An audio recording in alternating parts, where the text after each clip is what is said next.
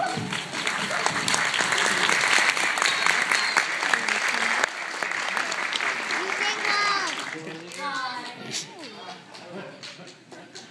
as you've already confirmed, I am the most beautiful woman in the land.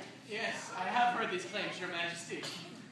Oh, please, call me Evelyn.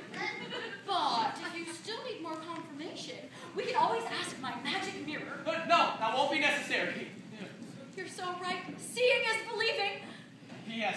As soon as you meet, your perfect woman. You know right away. so That's up. so let's forget about all the niceties, shall we? Let's get down to business. Give me a snog. Ah, no, a what? Next time, keep your tongue in honey. Oh, what happened?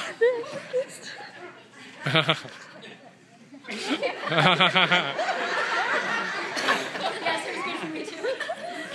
However,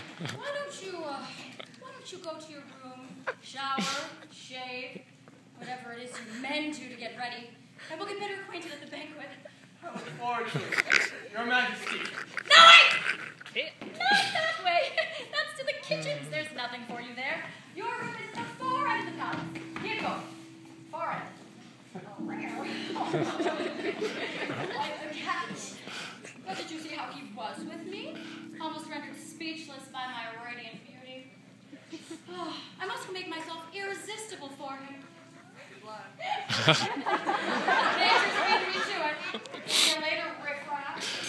Oh, that's boo! You're not nice.